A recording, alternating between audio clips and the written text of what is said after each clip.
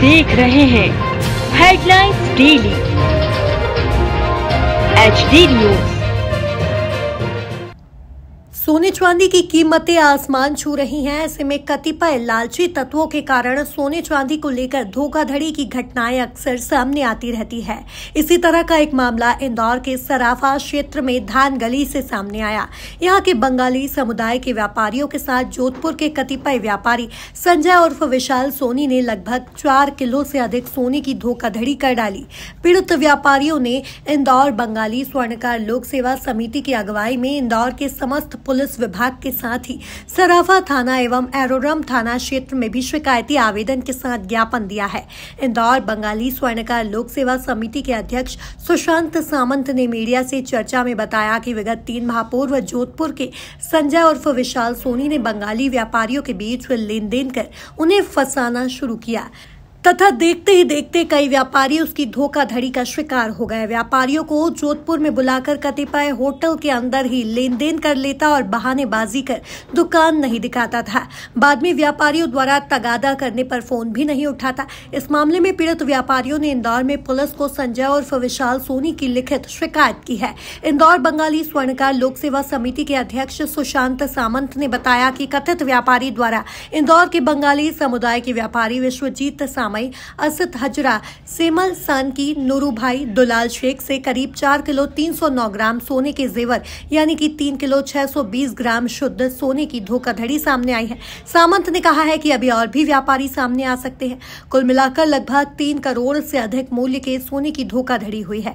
वहीं सराफा व्यापारी एसोसिएशन के पदाधिकारी निर्मल वर्मा ने भी मामला संज्ञान में आने पर एसोसिएशन की ओर से इंदौर, बंगाली स्वर्णकार लोक सेवा समिति एवं पीड़ित व्यापारियों के पूर्ण सहयोग की बात मीडिया के समक्ष कही।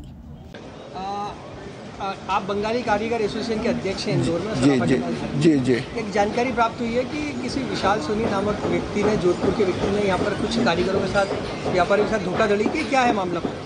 मामला ये है वो व्यापारी बन के यहाँ पे आए हुए थे। दो चार कारीगर से पहले मिले। मिलने के बाद एक आध किलो सामान लेके गया। फिर उनको एक किलो लेके उनको 200 400 ग्राम सोना दे दिया। फिर उनको बोला दो कारीगर और देख के दो अच्छे अच्छे। ऐसा करके उन्होंने चार किलो का अभी तक का घबला कर दिया।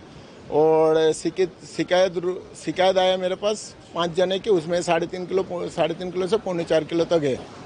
क्या इस मामले में और भी शिकायतकर्ता बढ़ सकते हैं? हाँ बढ़ सकते हैं। सुबह ही दो जने आए थे शिकायत लेके मैं था नहीं इसलिए मेरे को जमा नहीं कराए। वो बाद में आ जाएगा वो सात सौ ग्राम। क्या आपने इस मामले में कोई शिकायत की आरोपी? शिकायत करा मैंने आईजी ऑफ़िस में एसपी ऑफ़िस में एरोड्राम थाना पे साराफा थाना पे और डीएसपी ऑफ़िस में सब जगह पे मैंने लेटर भेज दिया ये शिकायत लेटर ये मैंने भेजा है। अभी जैसे कि लगभग आप बता रहे हो चार किलो के आसपास है। जी। क्या कितनी बाज़ार मूल्य की कीमत क्या होगी इस? चार चार चौबीस ढाई लाख ढाई लाख करीबन ढाई लाख के ढाई करोड़ के आसपास का है। आपने एसोसिएशन के अध्यक्ष को एक शिकायत करी आपके साथ धोखाधड़ी जी जी जी। एक्चुअली एक विशाल सोनी बोल के कोई व्यापारी है जो जोधपुर का रहने वाला वो हमारा को मेरी दोस्त ने बताया जो ये व्यापारी है बाज़ार में ऑलरेडी किसी का काम चल रहा है अच्छा काम है। बोल के हमारे मिला के फिर उसने बोला आपके पास जो सामान है वो हमारे को पहले दिखाओ पसंद आएगा तो हम रख लेंगे। तो हमको बोल के जोधपुर बुला के संडे के दिन हम वहाँ पहुँचा था। बोले हमने उसको बोला आपकी दुकान ले चलो। वो बोले मेरा दुकान आज बंद है संडे है। आज मैं होटल में आया हूँ आप होटल में आ जाओ। तो होटल में हमारा सामान देख के तो उसने पूरा सामान राग लिया। उसके बाद रखने के बाद हमको बोलते आपको फाइन पहुँचा देंगे। तो यहाँ आके मालूम पड़ा हमारा जैसा भाई बंधु और भी फंसा पड़ा है वो किसी को सोना नहीं दे रहे आजकल आजकल करते जा रहे। कितना आपका दिया था मेरा और मेरा दो दोस्त का मिला के तीन किलो तीन सौ चालीस ग्राम फाइन और लेना है।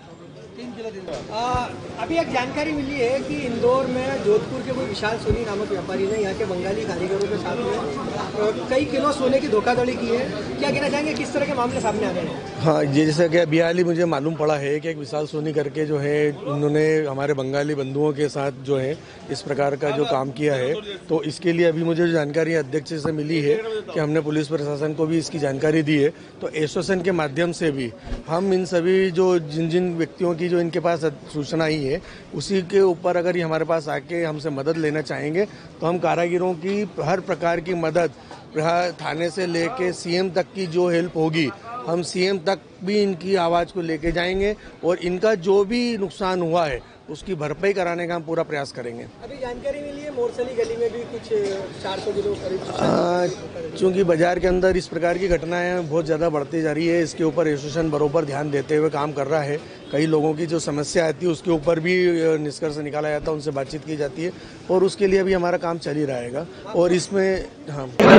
मैं हूँ सोनू सूद और आप देख रहे हैं एचडी न्यूज़ नमस्कार मैं Ashutosh Rana H D news के सभी दर्शकों को मेरी बहुत सारी शुभकामनाएँ। हाय मैं हूँ दीपिका सिंह और आप देख रहे हैं एच डी न्यूज़ हाय मैं हूँ बिंदु दारा सिंह और आप देख रहे हैं एच डी न्यूज़